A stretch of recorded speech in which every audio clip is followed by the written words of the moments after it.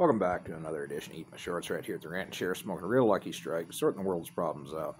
After getting all my chores and adulting done. What a surprise. So I've been telling story times today, man, and, and the kind of the, the theme here is these are things you should not do with your life.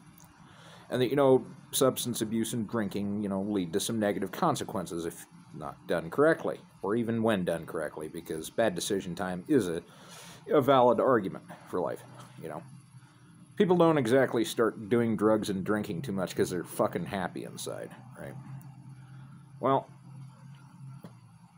you've heard the negatives about it. Let's hear fun story time. And this is kind of a messed up story time, but you have to understand is it criminal, there are rules. Arguably, there are more rules than if you're a civilian, like if you're just obeying the law. And there's a lot of rules, especially when you're in a street gang.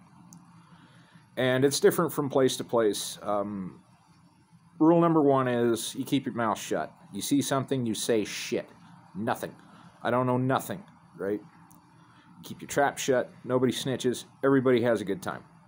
You snitch, you're going to have a bad time. Rule number two you do not harm innocent people like women, children, old folks, animals. That's just a thing you don't do. Rule number three you don't disrespect other people right? Because if you do, you're going to pay some pretty hefty consequences. Rule number four. Yeah, that's me and Fuego heckling each other. Um, you don't sell drugs to kids, right?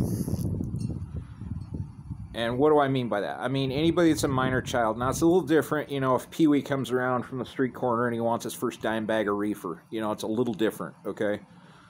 Like, yeah, me and Fuego are heckling each other back and forth. I digress. Thought train derailed. You know, the chemical spill that is the filthy mind that I have is now leaking into the grass. So grab your mirrors, folks. Buckle up. So I was probably 21, 22 when this happened.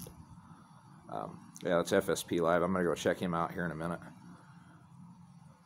And there was this trap house in the corner, and there was these scumbags running the place. And, you know, we didn't think anything of it because, you know, dopers got a doper, you know, and do doper things.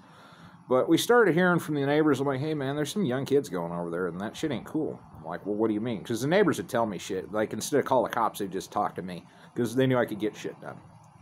And so I sat out there, and, you know, I was posted up in my fucking house loafers, a wife beater, a pair of shorts, smoking me a Lucky Strike, and having a 40 ouncer, watching this shit. Sure enough, there's little peewees coming out of there, spracked out of their gourd. I'm like, eh, that's not cool, bro. You know, we, we don't do that here.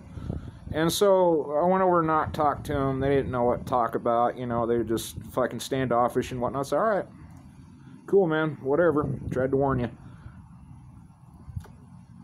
so later that night, me and my um, neo-Nazi and northern Mexican friends, uh, we decided to have a baseball game. And there's two kinds of sanction generally. There's the baseball team and there's a football team. Now the baseball team they'll go beat the shit out of you with bats. The football team, um, they, they make you a missing person in an unsolved case, or you know one of those closed casket kind of funerals that even their mama isn't real upset about because they fucked up that bad. And these guys, you know, they were fucking mid-level dealers. You know, they were doing their thing. You know, making a few bucks here and there. They get an ounce or two to a time. You know, speed. But that's one of my biggest pet peeves as a criminal was was shit that affected like pregnant women, kids, you know, animals, stuff like that. And so we just decided, you know what, fuck it. All right, old man, watch the house. I'm going out for an errand. Of course, there are about 15 of us in the kitchen, getting suited up, you know, ski masks, gloves, shit like that and grabbing our ass whipping sticks. And uh, he's like, all right, well, this should be fun. So he's sitting out on the front deck, having a cold one. It was back when he could still drink. He watched us just fucking run over there, bust in the front door with bats, and of course the screaming and the yelling and the, the crying and the begging for mercy. You know, he heard the whole damn thing. Of course, he spit beer foam out his nose, giggling his ass off. And of course, my dog was sitting there with him, watching him because, you know, the Rufus was there.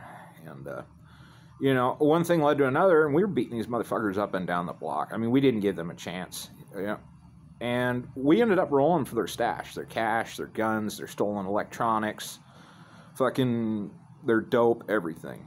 And we sent them a message, yo, if we have to come back here and we even see you in this neighborhood, much less whether you're selling or not, um, this is your warning, man. Don't fuck with kids. So, drug dealers aren't good people, man, but at the end of the day, we all have families. We all have kids, okay? You know, we all have people that we love and care about, whether you're in prison or you're not in prison, whether you're in jail or you're just like me who just escaped all that bullshit because I was exceedingly smart and exceedingly stupid at the same time and incredibly lucky. You know, that could have gone sideways. Somebody could have got shot, whatever, but they didn't, you know, because we used overwhelming force and uh, some baseball bats and fucking knocked the piss out of people.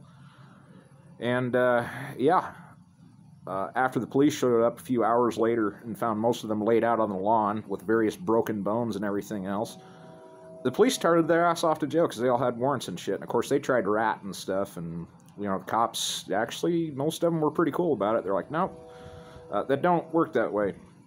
And so they put these people in jail, you know, and pending court and whatnot, and it got leaked out they snitched, and most of them didn't make it off the yard, man. It just goes to show you when you're a young man and you're doing dumb shit, you know, it's not all bad things that you do. About 90% of what you do as a criminal is more or less either victimless crime or just sheer stupidity. 10% of it's vile stuff because your substance abuse, and the rest of it's just kind of funny, humorous stories. That's where I'll leave you on another edition of Joe's Crusty Old Shorts Are Frozen. So, if you like the video, like the video. If you don't, I don't really care. Stay tuned. Have a wonderful day. God bless. And, uh, you know, don't sweat the small stuff, man.